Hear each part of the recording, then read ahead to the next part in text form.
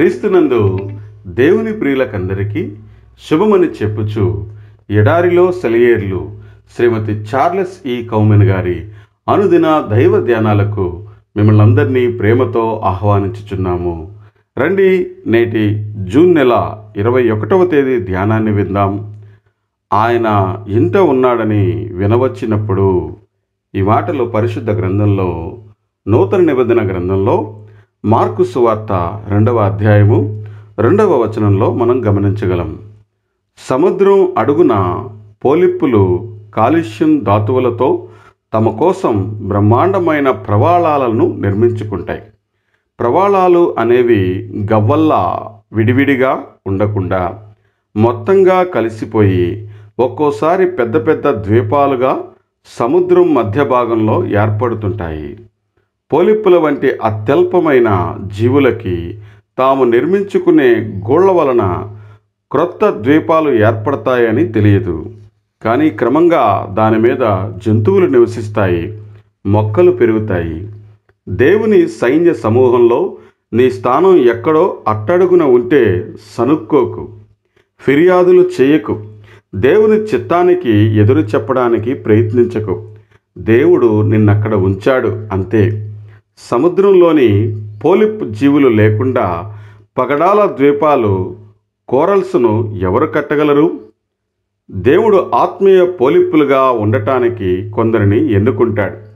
మనుషుల కంటికి కనబడకుండా వాళ్ళు పనిచేయాలి కానీ వాళ్ళ పనిని పరలోకం అంతా తేరిపార చూస్తూ ఉంటుంది.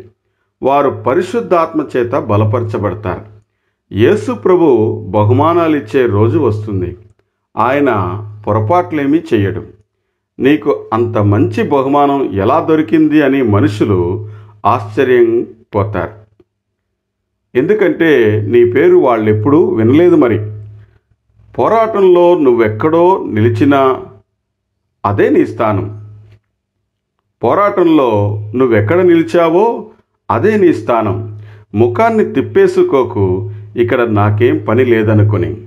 దేవుడు ఎందుకోసమో ఉంచాడు నిన్నక్కడ అది ఎక్కడైనా దానికోసం నిన్నెన్నుకున్నాడు. నమ్మకంగా పనిచెయ్యి కవచం ధరించు విశ్వాసపాత్రుడిగా ఉండు.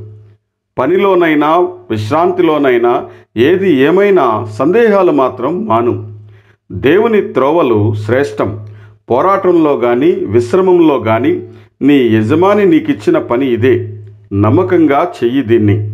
విశ్వాసులంతా గుమికూడిన కూటాలను ప్రోత్సాహపరిచే శిఖరాగ్రాలను సహాయకరమైన వ్యక్తుల సహవాసాన్ని వదలడానికి సంకోచించనక్కర్లేదు.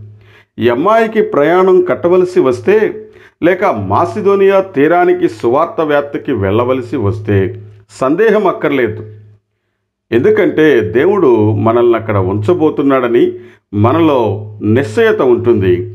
మనం మన దైనందిన వ్యవహారాల్లో మునిగి ఉన్నప్పుడు ఉన్నట్టుండి ఆయన మనల్ని సరిహద్దు ప్రాంతాలకి తన కోసం వాటిని గెలిచి స్వాధీనపరుచుకోమని పంపిస్తాడు. మన ప్రభు అయిన యేసుక్రీస్తు కృప కనికరం. ఈ అనుదిన ధ్యానాలు వింటున్న మన అందరికీ ఇప్పుడు ఎల్లప్పుడూ నిరంతరం తోడయుండునుగాక ఆమెన్. మన ప్రభు అయిన క్రీస్తు యేసుని సేవలో మీ సహోదరుడు శ్రీనివాస్ డేవిడ్ మరియు కుటుంబ సభ్యులు.